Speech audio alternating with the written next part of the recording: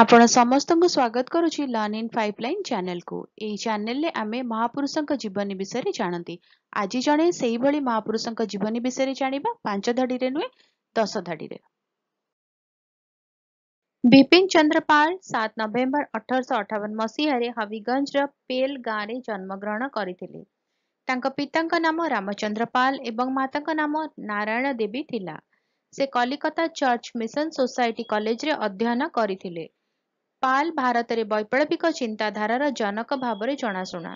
ଲାଲା ରାଜପତ ରାୟ ଏବଂ ବାଲ ଗଙ୍ଗାଧର ତିଲକଙ୍କ ସହ ପାଲ ଲାଲ ବାଲ ପାଲ ତ୍ରିଶକ୍ତି ଗଠନ କରି ସ୍ୱାଧୀନତା ହାସଲ ପାଇଁ ବୈପ୍ଳବିକ କାର୍ଯ୍ୟକଳାପ ସହିତ ଜଡିତ ଥିଲେ।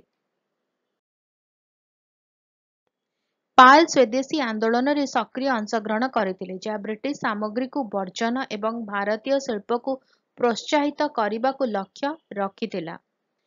ପାଲ ତାଙ୍କର ଜାତୀୟତାବାଦୀ କାର୍ଯ୍ୟକଳାପ ଏବଂ ବ୍ରିଟିଶ ଶାସନର ଖୋଲାଖୋଲି ସମାଲୋଚନା ପାଇଁ ଏକାଧିକ ଥର ଗିରଫ ହୋଇଥିଲେ। ସେ ଜାତିପ୍ରଥାକୁ ବିରୋଧ କରିଥିଲେ ଏବଂ ବିଧବାଙ୍କ ପୁନଃବିବାହ କରିବାକୁ ସମର୍ଥନ କରିଥିଲେ।